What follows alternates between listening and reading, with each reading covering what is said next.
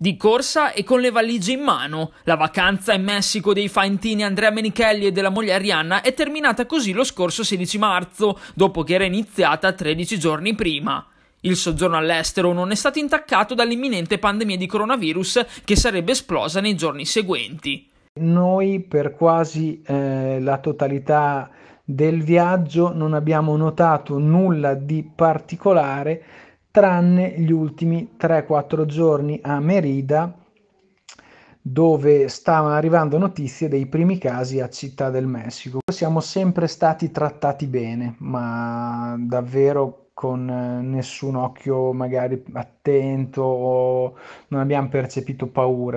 Più complicato si è rivelato il viaggio di rientro. Dopo la tratta prevista da Merida, città del Messico, a Monaco di Baviera, i romagnoli sono stati costretti ad imbarcarsi per Roma e poi arrivare a Bologna e via taxi ad Imola. Ora per i coniugi, al momento in salute, c'è l'obbligo di restare in isolamento per 14 giorni.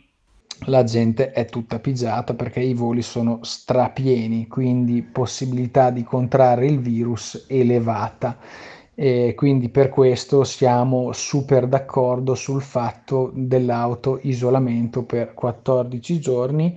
Quindi eh, i miei suoceri visto che vivono vicino a casa nostra eh, ci vanno a fare la spesa e gentilmente ce la lasciano sul pianerottolo di casa